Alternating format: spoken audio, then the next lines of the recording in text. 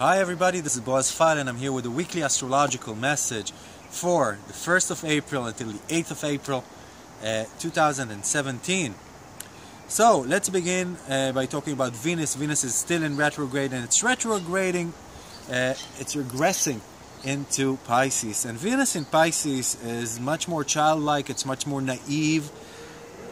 On the positive side, we can become much more romantic and we want to connect with the world, we want to take part in the world, and this naivety regarding relationships and love and income can be a very beautiful thing, but can be something also that is harmful if we're not careful enough. If we connect with people who really should not be within our gates, if we uh, take part in any financial endeavors in this time that we have not realistically checked the, the validity of, it could be harmful. Other than that, this could be a very creative time. There's so much talent within this combination of Venus and Pisces. It's a great time to creatively work with the muses and create things in your life. Anything that connects with love, relationship, or income should be dealt with more carefully in this retrograde.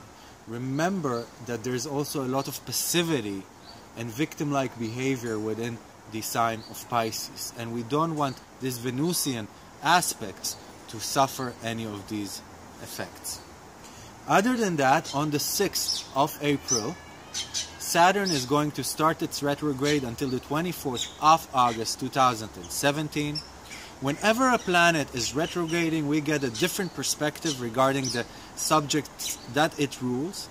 And of course, as you know, Saturn is the lord of karma, it is the judgment, it is the system, and it is our career. And both individually and within our lives in general, we could see these subjects fluctuating and changing. We could see how the system at large or our own private system within our own lives, the, the laws and the, and the regulations that we ourselves impose on our daily life need to be updated and need to be changed. Very much so, in the same manner, our career and the place we take amongst our peers and uh, in the gen, in the in the in public in the in the public arena and we could also understand the need for reforms, for laws that are no longer valid, that no longer are in contact with reality as it is and need to be updated, need to be changed. These days, between the 6th and a bit after the 8th of April, are days that we should really be much more logical and keep our mind frame set on being modest and realistic and diplomatic as much as we can. Why? Because Jupiter is going to be opposing the Sun. The Sun is going to conjunct Eris and uh, Uranus, making us a lot less uh, patient with ourselves and with other people and much more um, impulsive. And other than that, also Mars is going to conjunct Ceres in Taurus. This is a time that we can be exuberant, that we can spend a lot of money uh, usually on things like food, drink, or material objects, material goods.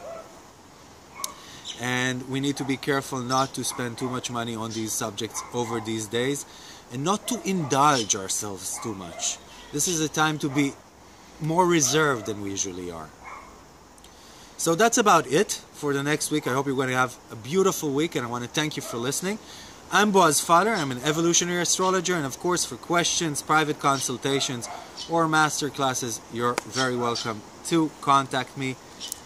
Signing out. Thank you for listening. Goodbye.